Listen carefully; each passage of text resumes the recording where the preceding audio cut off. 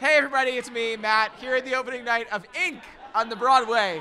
And tonight we're playing a game that I like to call Break the News.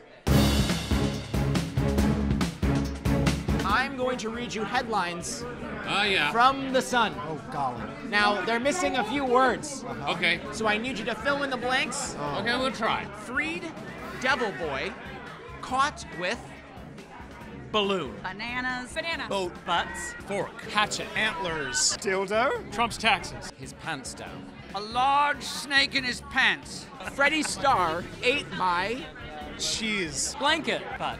Nipples off. Banana. Banana skin. the skin, Yeah, not the skin. not the banana. The banana skin. Just the skin. Blank seized in Southend. chicken. Who's chicken? Llama. Cocaine. My uncle. My privates. Is there a right answer? No. Well, I want to be right. UFO hits My butt. Toledo? Camel. Me. A cow. The White House. White House. My anus. Uranus. Uranus. I, I can't say that in this town. Child. Poor child. Poor child. Queen has rubber duck in her. Anus. Anus. Bum. Bread box. Vagina? I can't say that on TV. Corgi. He ate it. Bathtub. Oh. Oh.